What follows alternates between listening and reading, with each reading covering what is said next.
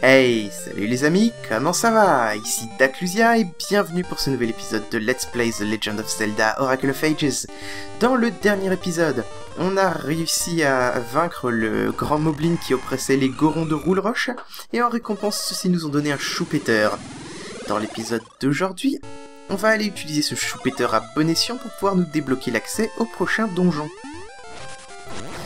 en commençant par revenir dans le passé, parce que si vous vous souvenez bien, c'est là qu'il y a quelqu'un de coincé sous un gigantesque caillou, et on nous avait demandé de trouver un choupeteur pour l'en libérer.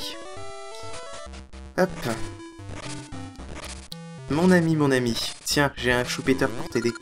Eh, ce serait pas un choupeteur, ça? On me la fait pas à moi. C'est bien l'odeur d'un choupeteur.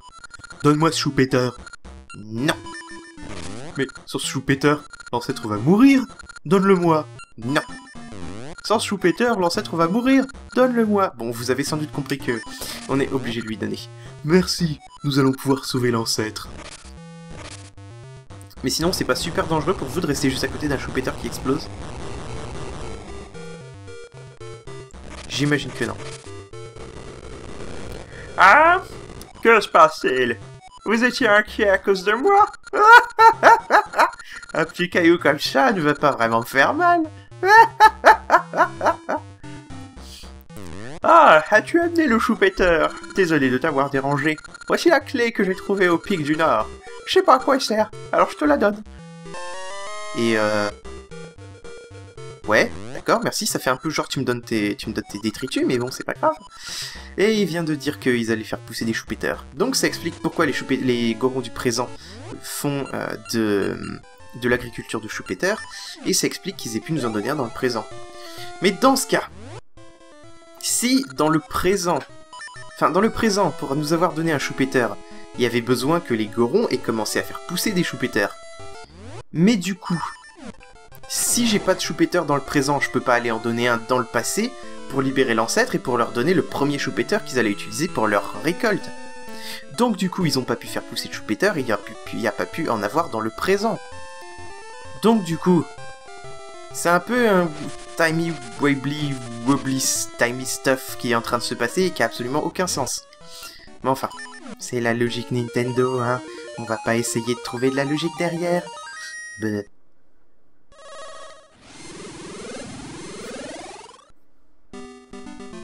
Bien, donc maintenant qu'on est de retour dans le présent, on va pouvoir être euh, être mis en mis en relation. Ça fait un petit peu service téléphonique ça.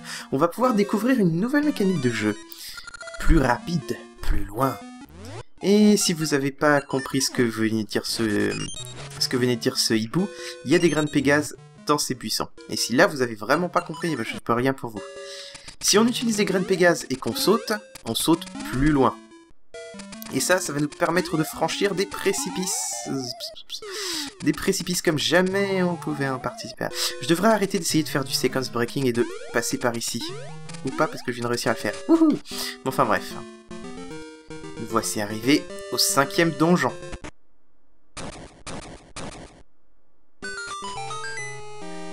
Le donjon de la couronne. Et ce donjon. Ce donjon, ce donjon, ce donjon. J'arrête pas de dire que Oracle of Ages est beaucoup axé sur les puzzles. Et j'arrête pas de dire depuis plusieurs donjons que plus ça va et plus les puzzles s'intensifient. Mais honnêtement, je pense que c'est dans ce donjon que c'est le plus apparent et vous allez le voir au fur et à mesure qu'on progressera dedans. Euh, pour commencer, je vais taper dans ce cristal avec une graine, si possible, voilà. Qui va avoir pour conséquence de lever ses plots. Et vous savez que quand il y a des, un truc à base de cristal et de plots dans un donjon, ça veut dire qu'il va y avoir du puzzle à faire derrière. Euh. Mais enfin, euh, je vais commencer par me régénérer un petit peu ma vie. Voilà, merci beaucoup. Pour commencer, pour commencer, pour commencer, on va vouloir s'occuper de tous les moblins dans cette pièce. Et allez, où est le dernier Te voilà. Espèce de, de, de, porcin maléfique et malveillant. Bref. Bref. Pour commencer, ça va être du déjà vu. On va vouloir transporter ce... euh, ce...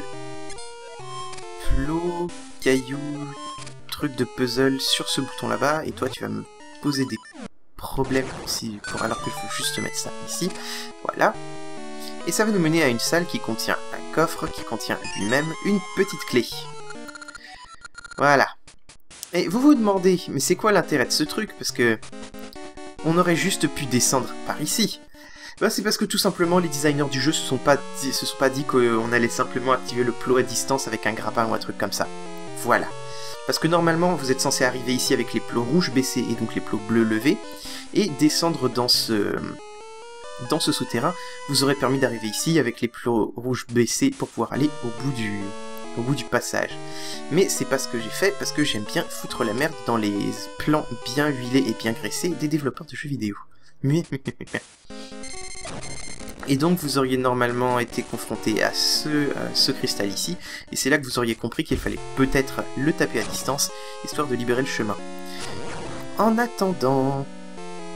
En attendant, en attendant, dans cette pièce, vous allez vouloir prendre à la fois le lance-graine et le... et la poche à graines, parce que le but c'est d'activer en même temps ces trois, euh, statues avec des graines braise pour faire apparaître un coffre contenant une petite clé. Bien, bien, bien, bien, bien. Et on en a fini avec la partie gauche de ce donjon. Du coup maintenant on va revenir à l'entrée pour aller voir euh, de quoi il en est. Hop, non, toi même pas je vais m'occuper de ton cas. Même pas je vais perdre le temps nécessaire à m'occuper de toi. Hein Hein Hein ah, je bague. Ah, je suis désolé. Comment pourrais-je jamais me faire pardonner? Enfin, et voilà aussi pourquoi j'adore les graines Pégase. Enfin, on est rapide et on arrête de se déplacer à deux à l'heure. Je vais pouvoir passer d'un bout à l'autre d'un donjon sans problème. Oui Bien. Alors... Alors, alors... Ici, là, il y a un escalier entouré de plots rouges, mais j'ai pas envie d'aller euh, d'aller euh, voir de quoi il s'agit tout de suite, parce que même si on a moyen de feinter un peu le jeu et de terminer ce passage avant euh, d'avoir les moyens de le faire, j'ai pas envie de le faire parce que ça nous causerait, comment dire, comment dire, comment dire, ça nous causerait plus de complications qu'autre chose et je préfère montrer la, la manière légitime de réussir ce puzzle. Bien. En attendant, ici, on a un coffre qui contient la carte du donjon, ainsi que la porte du boss, ouais, déjà. Mais on va pas y aller tout de suite pour raison évidente, hein. on n'a pas l'objet de ce donjon, on n'a pas non plus euh, la clé du boss, donc bon. On va aller dans cette pièce ici. Et vous allez voir que on va tout de suite rencontrer un petit problème dans cette salle. Parce que, en déplaçant ces statues sur les plots et en se mettant sur le quatrième, on fait apparaître un coffre. Mais dès qu'on s'enlève du bouton, le coffre disparaît. Du coup, rien qu'on puisse faire par ici pour l'instant. On pourra bientôt, mais pas tout de suite. Pour l'instant, je vais... Ouah, c'est quoi cette chute de FPS de l'infini? Je crois qu'elle est encore plus grosse que toutes les chutes de FPS que j'ai eues jusqu'à présent. Mais enfin. Là, on va activer tous ces bras zéro. Ce qui va avoir pour conséquence, si vous voulez bien vous mettre en place, merci, d'ouvrir la porte? Et c'est derrière cette porte que va euh, se trouver notre principal... Euh, principal... Enfin, principal énigme. Une des grosses énigmes de ce. En se mettant sur ce bouton, on peut voir euh, des couleurs qui s'affichent dans un ordre. Jaune, bleu, rouge, jaune, rouge, bleu. Et le but, ça va être de mettre ces statues dans le bon ordre. Hop là, hop là, hop là. Toi, tu vas aller là, toi là, toi ici. Et si je ne me trompe pas... Voilà. Et dans ce coffre, on obtient la canne de Somaria, l'objet de ce donjon. Et quelle est l'utilité de cette canne? Elle crie des blocs. J'imagine que vous avez déjà compris comment est-ce qu'on va récupérer ce coffre qui se trouve dans cette salle juste ici, et que vous allez pouvoir que simplement imaginer à quel point ils vont être... Euh, Enfin, ils ont été imaginatifs avec les manières dont on allait pouvoir utiliser ça. Principalement, on va récupérer une petite clé ici. Parfait, parfait. Donc on a, remboursé la clé qu'on a utilisée pour venir chercher la canne. Mais c'est hyper important d'aller chercher ça en premier, étant donné que grâce à la canne, on pourra réussir à faire tellement plus de, de choses intéressantes dans ce donjon. Bon, on va commencer par aller euh, dans cet escalier ici. Voilà. Et une autre application de la canne de Somaria, c'est que dans ces passages en 2D, on peut créer des blocs qui peuvent nous servir de plateforme. Euh, toi par contre, aïe. Voilà. Sans la canne de Somaria, évidemment, on n'aurait pas pu accéder à cet endroit. Vous pouvez aussi utiliser la canne de Somaria comme arme, parce que allez savoir pourquoi les ennemis meurent au contact du bloc. Alors j'imagine que c'est au cas où vous essayeriez, pardon, de pousser un ennemi de pousser un bloc sur un ennemi, et là je veux bien, euh, je, veux bien être d'accord que c'est quelque chose de mortel, mais non, là c'était juste le, la batte, enfin la chauve-souris s'est posée sur le, s'est posée sur le bloc et est morte. Enfin bref. Ici. Le but de cet endroit, ça va être de déplacer les statues sur ces deux cercles rouges. Facile, vous allez me dire. Sauf que les statues se déplacent en même temps. Du coup, on va bloquer la statue du haut à l'aide de la canne de Somaria, pendant qu'on déplace sa jumelle. Juste ici, voilà. Et ça va nous faire apparaître un coffre contenant une autre petite clé. Ouais, ça commence à en faire beaucoup. Et... Et oui, en effet, il y en a beaucoup des petites clés dans ce donjon. Bien, bien. Est-ce que j'ai un cœur entier pour faire péter ce... Non, j'ai pas de cœur entier pour faire balancer un laser là-dessus. ni. C'est tout ce que j'aurais à dire. Ni. Pensez également, quand vous, avant de sortir, à réactiver le cristal. Parce que si, si j'imagine que je dois vous rappeler que... Oh, ce tir au... Enfin, ce, ce kill au rebond. Enfin, comme je disais, euh, je ne devrais pas avoir à vous rappeler que pour venir ici, les plots étaient baissés. Du coup, si on essayait de revenir comme ça, sans réactiver le cristal, on serait bloqué par les plots autour de l'escalier. Voilà, voilà. Voilà, voilà. Alors, alors, alors, alors... Si je me trompe pas, il ne reste que quelques petits trucs qu'on va pouvoir faire par ici. Oui, voilà. Du côté, euh, du côté de ce précipice ici qu'on va traverser avec des graines Pégase se trouve le mini-boss du donjon.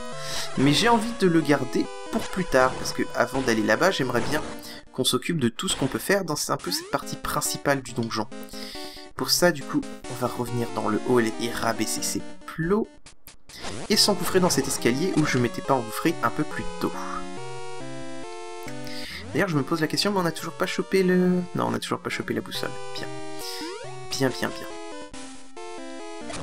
Donc, première chose, c'est qu'on va jouer un petit peu avec ces plots ici pour pouvoir passer. Je m'excuse de m'être de, d'avoir paillé. Et revoilà un ennemi qui devrait vous être familier, le chevalier à la masse d'armes, qui est faible, misérablement faible, pitoyablement faible. Bon. Bon, bon. Simple phase de platforming ici, faites attention à pas tomber. Et au bout de, cette, euh, de ce passage, se trouve cette salle. Cette salle est très très très très très très méchante. Il y a du vide dans cette salle. Aïe, non, je voulais rester ici. Il y a du vide dans cette salle. Et pour pouvoir savoir où est le chemin, on va utiliser le bloc de la canne de Somaria, un peu comme guide, comme chien d'aveugle si vous voulez. Ah non, non, je veux pas tomber dans le fusil Toi, je vais te faire ta fête, voilà. Donc je disais comme chien d'aveugle. Et... Aïe. Ouah, comment je suis tombé dans le vide. C'est irrespect de la part du jeu. Bien. Euh... Voilà. Là, je devrais y être dans pas longtemps. Ne pas tomber maintenant. Euh, Normalement, j'ai moyen de cheater ici. Ouais, hop là. Une petite clé.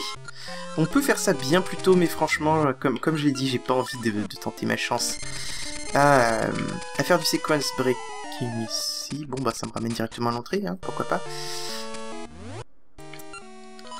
Pourquoi pas, pourquoi pas. Donc du coup, j'aurais pas à me, à enfin à me troubler plus que ça avec cette pièce, voilà. Et maintenant, on a fait à peu près tout ce qu'on avait à faire dans la zone principale du donjon. Donc je pense qu'on va aller voir le mini-boss de ce donjon. Je vais vous spoiler un petit truc avant. Ce mini-boss, on l'a déjà vu quelque part. Pas dans ce jeu, dans un autre Zelda. Et euh, j'imagine que je vais perdre la boule quand on va le rencontrer parce que c'est un boss qui me fait perdre la boule.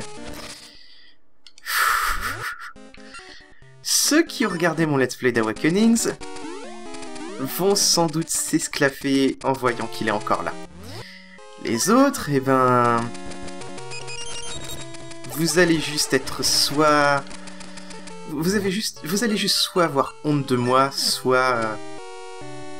Euh, de l'estime, enfin... Le mini-boss de ce donjon C'est Smasher Un Smasher Qu'est-ce qu'il adorable ce boss Bon, bref. Ah, c'est Smasher. Smasher, l'espèce de chien truc bizarroïde avec sa bouboule. Il est un petit peu plus compliqué à affronter que dans Awakenings, principalement parce que sa boule ne restera pas sur vous tout le temps. Au bout d'un moment, elle va disparaître, et alors il faudra être le premier à aller l'atteindre avant, euh, avant Smasher, histoire de pouvoir la lui lancer au visage. Sinon, il va tenter, lui, de vous l'envoyer dessus. Et je sais pas pourquoi je trouve ce boss complètement adorable. Allez savoir pourquoi. Oh, là par contre c'est lui qui a la boule. Aïe. Il fait mal, n'empêche. Enfin, non, il fait mal. Non, il me fait qu'un demi-cœur de dégâts, donc non, je vois pas du tout pourquoi je trouve qu'il fait mal. Mais bon. Je sais pas, je le trouve adorable, ce Smasher. À chaque fois que je le vois, je perds la boule. Enfin. Ah, au revoir, Smasher. Je suis désolé de t'avoir buté. Enfin, quoi qu'il en soit. Je trouve qu'on a déjà fait une bonne partie de ce donjon. Du coup, la prochaine fois dans Let's Play The Legend of Zelda Oracle of Ages, on ira terminer le donjon couronne. En attendant, portez-vous bien.